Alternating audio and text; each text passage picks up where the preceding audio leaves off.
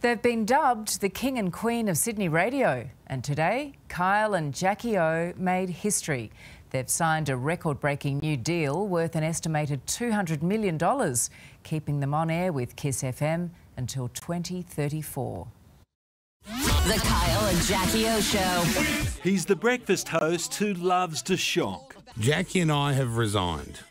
Re-signed. Oh, re-signed. oh, s- yeah, they didn't put a hyphen in there. It is- A new 10 year contract. Ten more years. Ten more years.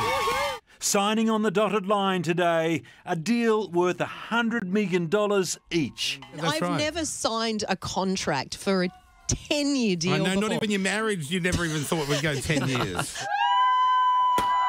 Cheers in Sydney and tears You okay? In Melbourne. Certainly not the way we wanted to bow out. Um, we didn't have a choice. The Kiss Breakfast Show there axed, with Kyle and Jackie O set to earn their money trying to crack the Melbourne market. Nobody from Sydney has managed to network a, a, a program into Melbourne. Hamish McLennan likes to gamble. He rolled the dice and lost as the boss of rugby. He's also the chairman of ARN, the owners of Kiss. It's a lot of money.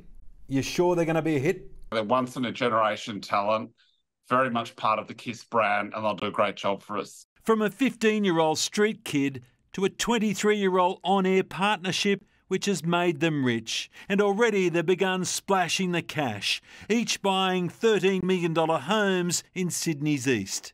It's been a Rolls Royce ride with another decade on the clock. How long do you keep going together? Till one of us dies, probably. I reckon. Probably going to be me. Damien Ryan, 9 News.